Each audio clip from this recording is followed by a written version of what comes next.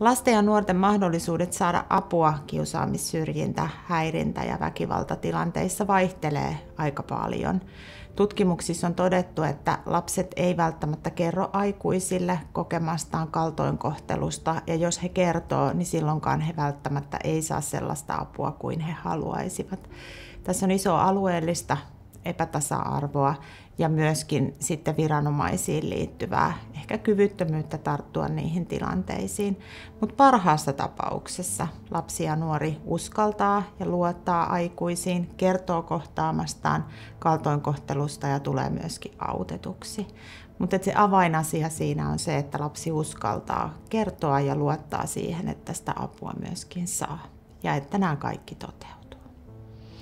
Kun lapsi kokee huonoa kohtelua vertaisten taholta, niin se vaarantaa hänen oikeutensa osallisuuteen, usein oikeutensa saada opetusta, oikeutensa harrastaa, osallistua vapaa-aikaan ja virkistäytymiseen ja myöskin sosiaalisiin suhteisiin. Eli se oikeuksien kaventuminen on hyvin moninaista ja se voi monella tavalla vaurioittaa lasta ja nuorta.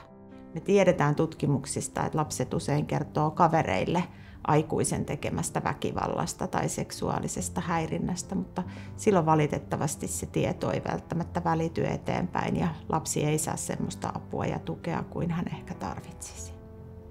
Mobbning, olika former av våld och trakasserier är tyvärr väldigt vanligt bland klienterna både inom socialvården och barnskyddet. Det att hur mycket det påverkar ett enskilt barn beror förstås på att det varit en enskild situation eller fråga om långvarig belastning och sen beror det också på att hurdan förmåga ett enskilt barn har att eh, behandla en sån här form av potentiell trauma. I alla fall vet vi att det lämnar väldigt långa spår. Barnskyddsanmälan och eh, kontakter från både daghem och skola gällande mobbning och våld så brukar mera gälla förövaren och inte offret.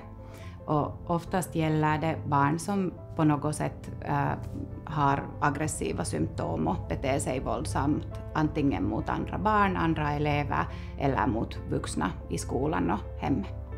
Jos mietitään, että minkälaisissa tapauksissa olisi hyvä olla yhteydessä poliisiin, niin lähtökohtaisesti ihan koulun, koulun tehtävä, koulu on yhteydessä, koska ne pitäisi tietää kokonaisuudet parhaiten. Jos vanhemmista huoltajista tuntuu siltä, että koulu ei hoida tehtävänsä, niin toki voi vanhemmatkin olla, olla yhteydessä suoraan poliisiin. Esimerkiksi tehdä rikosilmoituksia tapahtumista. Somessa voi ottaa yhteyttä ihan minkälaisessa asiassa tahansa. Kaikessa asiassa voi ottaa yhteyttä. Tröskeln för att göra en barnskyddsanmälan är väldigt låg, men ändå måste förstås alltid barnets unika situation bedömas enskilt.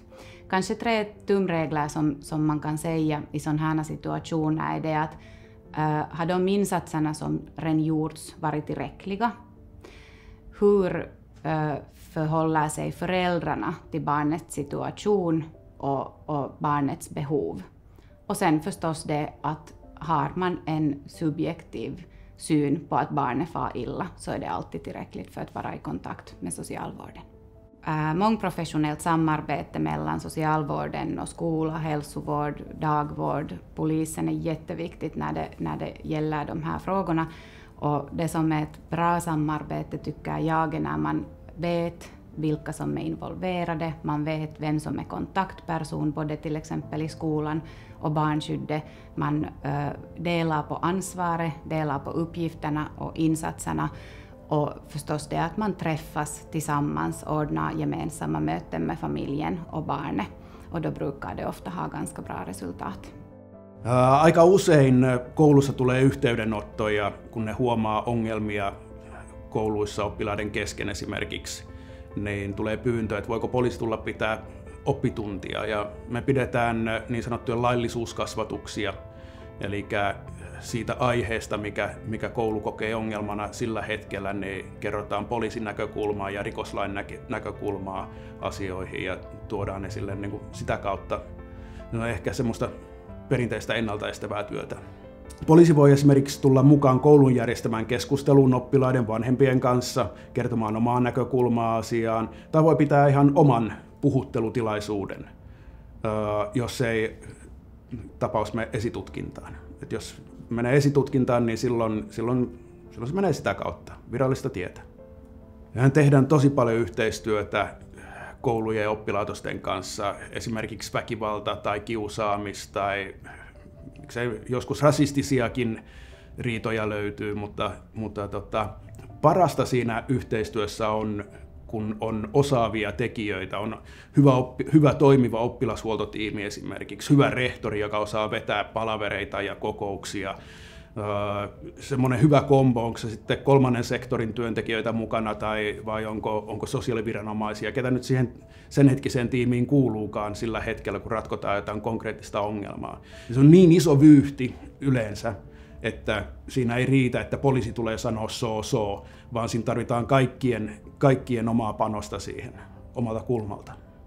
Keskeistä sovittelussa on oikeastaan se, että on sovittelutahtoa molemmilla osapuolilla. Sovittelu on aivan loistava väline ratkoa ongelmia, mutta vain jos ollaan tosissaan. On aina ymmärrettävää, että lasten oikeudet on todella laajat. Niitä on monenlaisia ja ne kaikki kytkeytyy toisiinsa.